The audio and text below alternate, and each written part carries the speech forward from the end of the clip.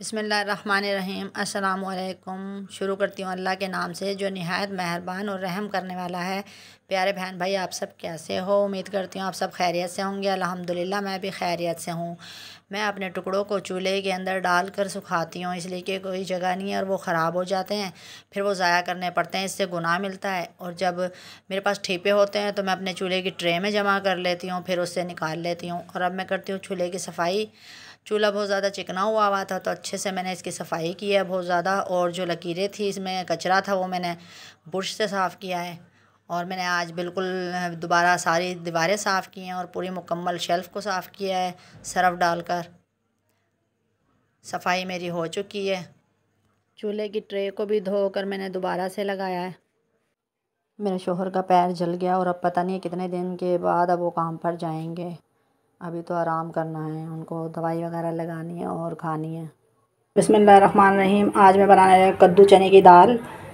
तो यहाँ पर मैं दाल डाल लेती हूँ, मैंने इसको अच्छे से वाश कर लिया है, साफ़ से धो लिया है। इसलिए कि हमने बाद में इसका कोई पानी नहीं फेंकना, हमने इतना ही पानी रखना है जिसमें ये एग्जॉफ हो जाए सोख हो जाए तो हम इतना ही पानी रखेंगे। ज़्यादा इसको गलाना नहीं है, ज़्यादा पानी नहीं डालना, और हमने इसका पानी ज़ाया भी नहीं करना। अब मैं चूल्हा ऑन कर लेती हूँ। अब इसको हम उबलने तक वेट करते हैं। बिसमीम अब हम कर लेते हैं चने की दाल को चेक ओ, ये क्या हुआ? मैंने तो रखी थी चने की दाल और ये कद्दू किधर से आ गए। बहुत हैरानगी की बात है, आज तो मेरे साथ कोई जादू हो गया है। आप देख रहे हो बहन भाइयों, ये मैंने चने की दाल रखी थी और कद्दू आ गए यहाँ पर। अरे भाई, आप लोग भी हैरान रह गए होंगे, ये क्या हो गया? लेकिन ये कुछ नहीं हुआ। ये मैंने मज़ाक किया ये देखें, एक तरफ़ कद्दू रखे हैं मैंने और दूसरी तरफ़ चने की दाल। मैंने कहा, कोई बात नहीं, थोड़ा सा हंसा लेती हूँ। तो इसको भी हमने ऐसे ही रखना है, कद्दू को कम पानी में, इसको इसमें सोख करना है। प्यारे बहन भाई हमारे सॉस पैन जुड़वाएँ, इसलिए मैंने आपके साथ प्रैंक कर लिया है। गलत फहमी होगी आपको। कद्दू चने की दाल मेरी बॉयल हो गई है। और जब पानी आता है तो फिर मैं बनाऊँगी बर्तन धोकर खाना। आज मैंने बिल्ली के लिए काफ़ी दिन में गर्दनें मंगा कर डाली हैं। वो कमज़ोर हो गई थी। अल्लाह जानता, अगर मेरे पास पैसे होते तो मैं रोज़ाना इनको गोश्त डालती, दूध भी मैं अपने बच्चों के हिस्से में से डालती हूँ। अल्लाह ताला मेरी बिल्लियों के नसीब का रिस्क अता करे ताकि मैं इनको भूखा ना रखूँ। रहीम आज हमारा सुबह से बिल्कुल भी पानी नहीं था, शाम के पाँच बज चुके हैं। अब हमारा पानी आया है तो अब मैंने पानी की बोतलें भरनी हैं और बर्तन धोने हैं।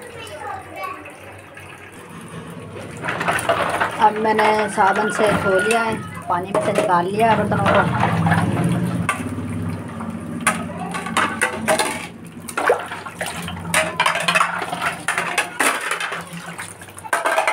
और जिन बहन भाइयों के नल के टूटे हुए हैं, टूटियाँ टूटी हुई हैं, उन लोगों को चाहिए पानी ज़ाया ना करें। आप नलका लगवाएँ, पानी को बंद करने का इंतज़ाम करें। पानी को ज़ाया करना बहुत गुनाह है, हिसाब देना पड़ता है। पानी की बोतल भर ली है और फ़र्श धो लिया है। काम से फारिग हो गई अब खाना बना लेती हूँ।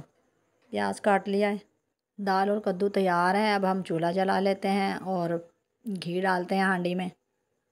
घी मैंने डाल लिया। अब इसको अच्छे से गर्म करते हैं। जब तक तेज़ गर्म नहीं हो जाता, तब तक हम प्याज नहीं डालेंगे, इसलिए कि वो प्याज फिर घुलती नहीं है, नरम रहती हैं। अब प्याज डालकर फ्राई करती हूँ और फ्राई होने तक आपको टोटका बता देती हूँ। जिन बहन भाइयों को बुखार होता है या टाइफाइड होती है या जो भी मसले होते हैं बुखार के तो आप तुकमलंगा लें और उसको रात को नीम, गर्म दूध में हल करें और उसको भिगोना नहीं है, सिर्फ़ ऐसे ही पीना, आहिस्ता आहिस्ता, आराम आराम से।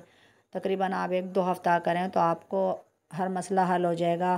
अब लहसुन, अदरक के पेस्ट को हम फ्राई कर लेते हैं प्याज के साथ। अच्छे से ये फ्राई हो जाएँगे तो फिर हम मसाले डाल देंगे। अब डाल देते हूँ टमाटर, हरी मिर्चें, लाल मिर्चें साबुत मिर्चें, कुटी हुई मिर्चें काली मिर्चें, धनिया, कलौजी, हल्दी। आप पानी डाल देते हैं ताकि हमारा मसाला जले नहीं और अच्छे से इनको मिक्स कर लेते हैं। अब दो चुटके अजवाइन डाल दूँगी दर्द वगैरह के लिए। अजवाइन के फ़ायदे होते हैं। अब नमक डाल देती हूँ। और साबत लाल मिर्चें। मसाले को अच्छी तरह भुनेंगे। हमारा मसाला भुन चुका है और इसमें हम घूंट घूंट करके पानी डालते जाएँगे और भूनते जाएँगे जब तक प्याज बिल्कुल बिल्कुल इस तरह जिस तरह मलाई होती है और बिल्कुल सॉफ्ट हो जाता है, इस तरह का मसाला हमें चाहिए। मसाला मेरा भुन चुका है और अब मैं डाल देती हूँ कद्दू। और मैं कद्दू को बिल्कुल सॉफ्ट और फ्राई कर लूँगी। मुझे बिल्कुल भी पीसेस में नहीं चाहिए। हम लोग ग्रेवी की तरह इस कद्दू को खाते हैं, हमें वही पसंद है। अच्छी तरह इसको चम्मच से मैश कर लूँगी। कद्दू मैंने थोड़े से कच्चे रखे थे ताकि हांडी के अंदर अच्छी तरह भूनूँगी। मसाले में तो पक जाएँगे। अब मैं अच्छे से इनको फ्राई कर लेती हूँ और डोई की मदद से इनको अच्छी तरह रगड़ देती हूँ। और अब मैं पानी डाल देती हूँ थोड़ी देर। पानी डाल के अब मैं थोड़ी देर के लिए ढक्कन लगा देती हूँ, दस मिनट, पाँच मिनट के लिए। तो हमारे और अच्छे से गल जाएँगे। ढक्कन लगा दिया मैंने। अब चेक करते हैं हमारे कद्दू तैयार हैं और अब इसमें शामिल कर दूँगी मैं दाल। दाल मेरी बिल्कुल गली हुई थी, थोड़ा ही टाइम लगेगा इसमें फ्राई करने में। तो हम अब दाल को डाल के फ्राई करते हैं। थोड़ी देर हम दाल को फ्राई करेंगे ताकि अच्छे से उसमें नमक मिक्स मिक्स हो जाए और थोड़ी देर के लिए हम ढक देंगे दाल को। दो तीन मिनट के बाद खोल कर देखेंगे और अब हम डालेंगे हरी मिर्चें। हरी मिर्चें डालकर फिर थोड़ी देर दो मिनट के लिए ढक देंगे। अब हमने फिर दोबारा हरा धनिया डालना है। तैयार है हमारी दाल। धनिया डाल देंगे, गरम मसाला पिसा हुआ डाल देंगे और अब हम रख देंगे हिलाकर दम पर। दाल हमारी तैयार है। अब हम आपको, अब आपको डिश आउट करके दिखाते हैं। बिसमीम आज की मेरी मज़ेदार कद्दू चने की दाल तैयार है। मुझे उम्मीद है आपको आज की मेरी रेसिपी पसंद आई होगी। इस तरह आप कद्दू चने की दाल बनाएँगे तो बहुत ही ज़्यादा मज़ेदार और टेस्टी बनती है। और जिस मेरे बहन भाई ने मेरा चैनल सब्सक्राइब नहीं किया तो अभी कर दें, और जिन लोगों ने कर दिया है तो उनका बहुत बहुत शुक्रिया।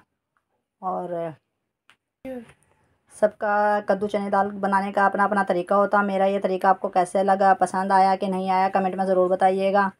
और अब आप लोगों के लिए इजाज़त चाहती हूँ, अल्लाह ताला आप लोगों को हमेशा खुश रखे, आपकी हर दिली मुराद पूरी हो।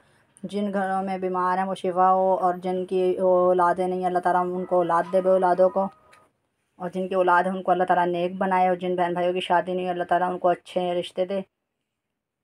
और जो, और जिन लोगों की ख्वाहिश है हाजिर उम्र करने के, अल्लाह ताला उनके कबूल मंजूर फरमाए और सबके हालात अच्छे हों। अल्लाह ताला गुरबत से निजात दे और पाँच वक्त की नमाज़ ज़रूर पढ़ा करें और अल्लाह ताला के सजदा किया करें। इन अल्लाह ताला ज़रूर सुनता है। थोड़ी देर ज़रूर लगती है, लेकिन इन अल्लाह ताला सुनता है और अब मैं इजाज़त चाहती हूँ। अल्लाह हाफ़िज़, मुझे अपनी दुआओं में याद रखिएगा। आमीन, रब्बुल आलमीन।